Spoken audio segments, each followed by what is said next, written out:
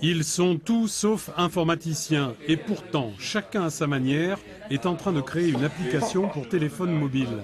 Si je prends euh, bah, la ville de Bordeaux, si elle a fait développer son application mobile, elle a dû la faire développer sur mesure et donc ça lui a certainement coûté un certain coût qui n'est pas accessible pour les plus petits.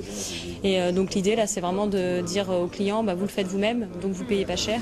BeApp est une jeune start-up créée par trois Bordelais en septembre 2011. L'idée, offrir grâce à une plateforme des outils pour permettre à des professions indépendantes de créer leur propre application.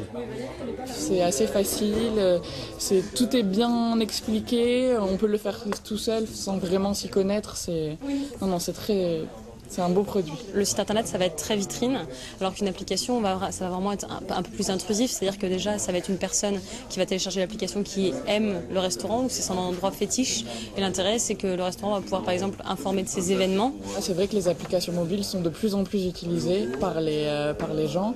On se rend compte que les gens qui recherchent un restaurant, bah, aujourd'hui, ils cherchent sur Internet.